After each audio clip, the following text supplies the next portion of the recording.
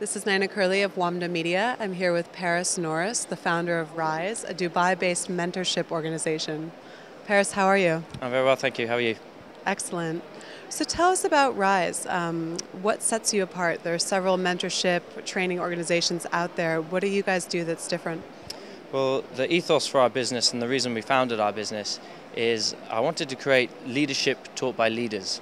Um, I, I, see a lot available to people in terms of uh, educational courses and, and, and things taught by academics, but I thought there was a space that uh, where entrepreneurs and, and managers and CEOs uh, can come together and interact with people who have achieved, people who have not just been in leadership positions, but have proven to be successful leaders. Uh, because when we look at what what is leadership and, and what is it that makes a great leader.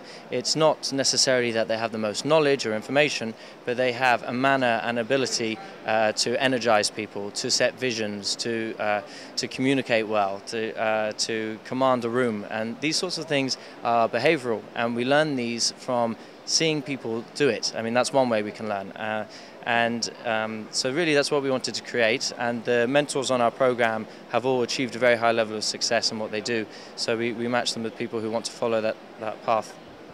Do you work very hard to vet them? How do you do that? I mean, do you assess their personal charisma along a checklist, or how do you how do you decide who's good? Well, with the mentors, they, they all have to have achieved a very high level of success, and, and we, we do a, a very uh, thorough uh, vetting, as you called it. Uh, we, we, we look at not just uh, what they have achieved as such, but the journey they've been through, because that's how we match an entrepreneur with, with a mentor, because uh, it's not necessarily that they have the same uh, industry experience, but that they understand the challenge that they're going through and, and that they've walked that path before. So that's what uh, we do with the mentors and with the mentees. We're really looking for ambition more than anything because uh, if somebody is is lost and doesn't know the steps forward, that's exactly what we're there to help them with. Uh, so we're not necessarily looking for somebody with all the answers who knows who knows what they want to do and knows the way to get there, because uh, if there are people like that, that's that's you know they're they're on the route already. We're there to help people who who uh, need an impartial advisor, uh, would appreciate the uh, the structured element of having some steps to walk forward, because uh, often when you're an entrepreneur, you don't know what what what way do I turn? What right. Are, what, what are the next things I should do in the next three months? Right. Um, and so, when it comes to those entrepreneurs presenting you guys with challenges, what are the top challenges that you see in the ones that you're looking at? And what are, what are the primary pieces of advice you see mentors giving those entrepreneurs? Well, I think what I mentioned there was, you know, entrepreneurs don't have uh, a set structure in their in their daily life and not necessarily uh, a three month or a six month plan.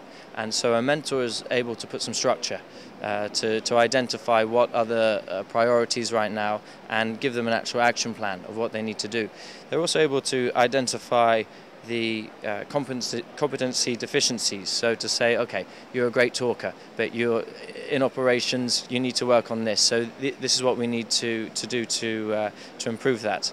So that's uh, one of the things. And I think, you know, entrepreneurs, they, it, it's it's a lonely world. So to have an impartial advisor that you can rebound things off of and uh, and get some uh, impartial advice, because uh, often we there's an abundance of people willing to give you advice, uh, but it's not always impartial. So that's really where a mentor comes in.